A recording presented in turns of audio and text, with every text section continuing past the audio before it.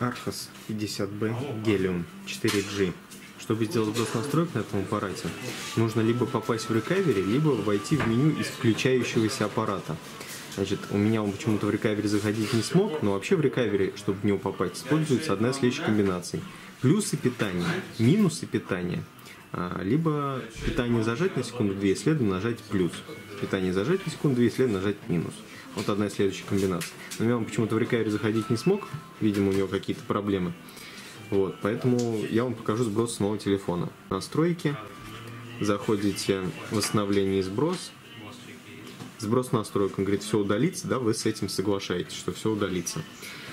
Это первый вариант. Про рекавери.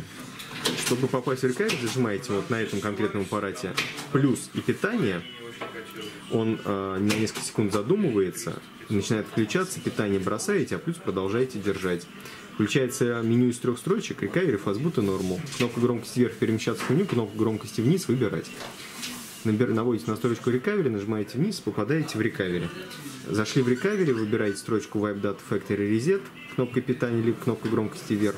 Кстати, если в это меню сможете попасть, то питание зажимаете, коротко нажимаете вверх, он вас пустит в это меню. Ну, это как бы своеобразная система случайно зажатия клавиш. Выбираете строчку Yes Delete All User Data, он начинает делать сброс, и выбираете первую строчку Reboot System на он перезагрузится. Я, к сожалению, сказать не могу, потому что он в рекавер у меня не вошел. Но вам придется поверить на слово.